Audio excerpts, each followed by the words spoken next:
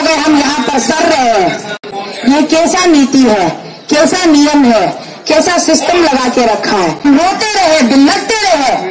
आपसे हम गुहार लगाते रहे, हाथ जोड़ती रहे, विनती करती रहे।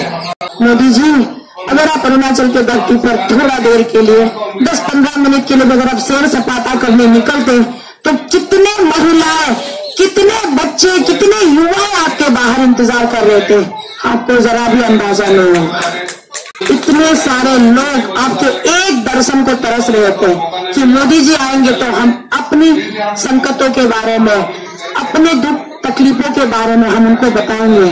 और जो भीड़ आपने देखा ना पंडाल के अंदर, वो भाड़े के तत्तू थे सब। पाँच पाँच सौ रुपये में हायर किया गया लोग था। इतना तामझाम दिखाने की क्या ज़रूरत है? इतना दिखावा करने की क्या ज़रूरत है? मोदी जी, हम भी आपके साथ चलना चाहते हैं ईटानगर। हमको लेके चलिए। आप हमें उठाइए यहाँ से और सीबीआई और ईडी के दो अफसर लेके चलिए। अरे, हमारे मोदी जी को ना पेमा खांडू का नाम उच्चारण में थोड़ा तकलीफ़ होता है। वो पेमा नहीं बोलते, वो प्रेमा खांडू बोलते हैं। तो मोदी जी, आपका जो मित्र है ना, प्रेमा खांडू जी, उसने आपको कुछ उल्टी सीधी पतिया परा कर रखे हुए है। वो जो जो बताते हैं, आप उस पर आँख बंद करके विश्वास कर लेते हो। कान में रुई ठूस लेते हो कि हम सिर्फ़ सुनेंगे तो प्रेमा बाई के सुनेंगे, बाकी किसी की नहीं सुनेंगे। अरे ढूंढो ना भैया फंडिंग कौन कर रहा है? ढूंढो। अरुणाचल के हर एक डिस्ट्रिक्ट में जाओ, हर एक ज़िले, हर एक ब्लॉक में जाओ। घर घर में जाके छानबीन करो। फंडिंग कौन कर रहा है? तो कोशितल के पीछे। स्पॉन्सर को निकाल के दिखाइए। कौन फंडिंग कर रहा है? दिखाइए। कि पेमा खांडू खुद ही फंडिंग कर रहा है।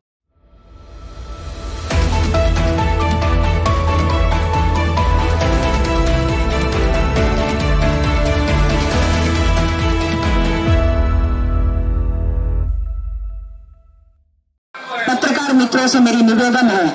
क्या इस तरीके की, इसे क्या कहेंगे? अगर आप लोग पत्रकार मित्रों अगर आप लोगों के ध्यान में हो तो आपने एक मोदी जी का एक स्पीच सुना होगा। हमारे भारत के प्रधानमंत्री मोदी जी। मोदी जी ने एक समारोह में स्पीच दिया था। मोदी जी ने कहा था, मेरे लिए 133 करोड़ भारत की जो जनता है, वो मेरे लिए कोई छोटा, कोई बड़ा नहीं है। सब मेरे लिए एक समान है, बराबर है।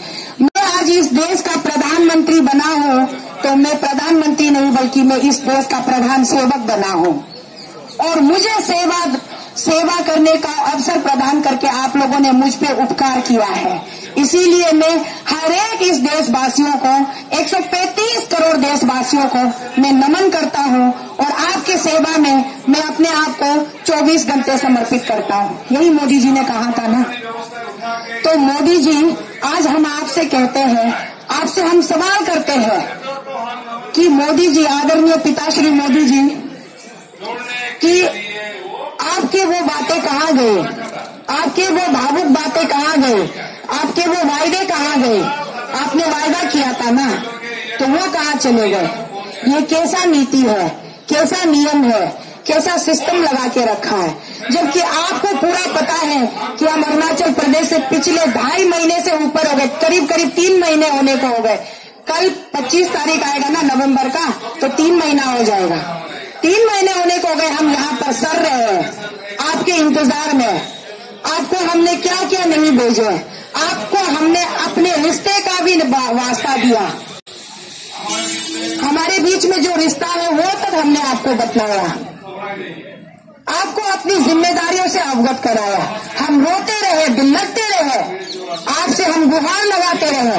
हाथ जोड़ती रही, विनती करती रही। आपके पैर के तो दर्शन हमें नहीं हो पाए, फिर भी हम न्यूज़ चैनल के माध्यम से आपके पैर छूते रहे हम।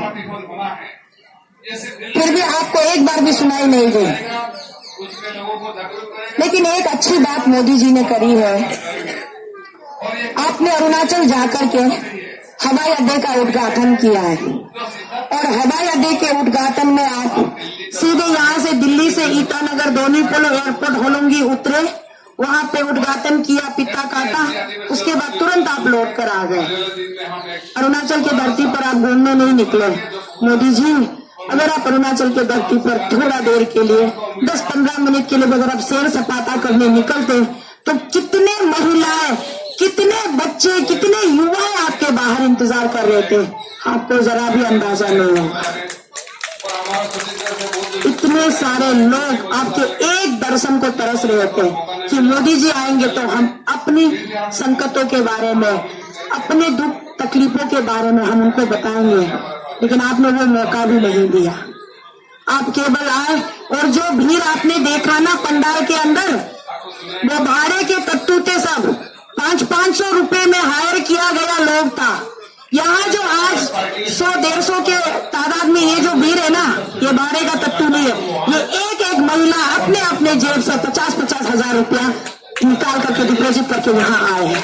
अपने घर से पैसे खर्च करके यहाँ आए हैं और यहाँ करप्शन के अगेंस्ट बैठे हैं। लेकिन वो जो पंडाल में दस पंद्रह हज़ार लोग दिखे ना न्यूज़ चैनल में दिखा टीवी स्क्रीन में दिखा ना, सब पाँच सौ पाँच सौ में हायर किए हुए भाड़े के तत्व तीनों क्या ज़रूरत है? इतना काम झाम दिखाने की क्या ज़रूरत है? इतना दिखावा करने की क्या ज़रूरत है? मोदी जी के लिए हमारे दिल में इज़्ज़त है। हमने तो मोदी जी को संदेशा भेजा भी था कि मोदी जी, हम भी आपके साथ चलना चाहते हैं ईटानगर चलिए। आप हमें उठाइए यहाँ से और सीबीआई और ईडी के दो अफसर लेके चलिए। कौन सा ना इतना बड़ा भारी भरकम चीज़ आपको यहाँ से उठाना था? लेकिन आप माने नहीं।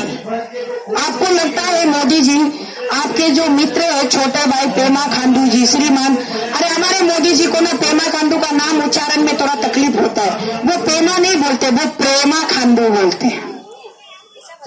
तो मोदी जी, आपका जो मित्र है ना उसने आपको कुछ उल्टी सीधी पटिया पर आकर रखे हुए हैं। वो जो जो बताते हैं, आप उस पर आँख बंद करके विश्वास कर लेते हो, कान में रुई ठूस लेते हो कि हम सिर्फ़ सुनेंगे तो प्रेमा बाई के सुनेंगे, बाकी किसी की नहीं सुनेंगे। ये कहाँ का इंसाफ है? मोदी जी, आज तो हमें आपसे सवाल करना ही पड़ेगा, क्योंकि इतने दिन से हम रो रहे हैं बिलक रहे हैं यहाँ। हम इतनी यातनाएँ सह रहे हैं, आपकी केवल एक आवाज़ के लिए, आपकी एक पुकार के लिए। हम अभी भी आपसे कह रहे हैं, हम आपके परिवार का हिस्सा है। हमें अपने आप से अलग मत कीजिए। ये जितनी माताएँ आई हैं, ये सारे मासूम माताएँ हैं। इन माताओं का कोई कसूर नहीं है। इन्होंने मुझे डेढ़ महीना पैदल चलते हुए देखा।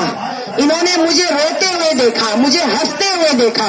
इन्होंने हर गरीब हर मिनट मुझे वहाँ से अरुणाचल से लेके दिल्ली पहुँचने तक का मेरा सफ़र का ये सब साक्ष है गवाह है जीता जागता गवाह है। तब जाकर के इनके दिल में, इनके मन की अंतरात्मा जागी, इनके दिल में वो भावना उत्पन्न हुई कि हमारी बहन, हमारी बेटी वहाँ पर वो चल सकती है। तो क्या हम ट्रेन या हवाई के ज़रिए हम दिल्ली नहीं पहुँच सकते, उनको सपोर्ट करने? इसीलिए ये लोग आज यहाँ आए हैं। अपने पैसे खर्चे करके आए हैं वो लोग। यहाँ पर भी वहाँ सवाल करते हैं फंडिंग कौन कर रहा है? अरे ढूंढो ना भैया फंडिंग कौन कर रहा है ढूंढो अरुणाचल के हर एक डिस्ट्रिक्ट में जाओ हर एक ज़िले हर एक ब्लॉक में जाओ घर घर में जाके करो फंडिंग कौन कर रहा है तो कोसीतल के पीछे। स्पॉन्सर को निकाल के दिखाइए। कौन फंडिंग कर रहा है? दिखाइए। सारे आम जनता फंडिंग कर रही है, मैं बताती हूँ। लेकिन आप लोगों को इस पर भरोसा नहीं होता है। ज़्यादा छानबीन करी ना तो कल को मैं, मुझे मजबूरन ये नकली का प्रोपोगेंडा बनाना पड़ेगा कि पेमा खांडू खुद ही फंडिंग कर रहा है।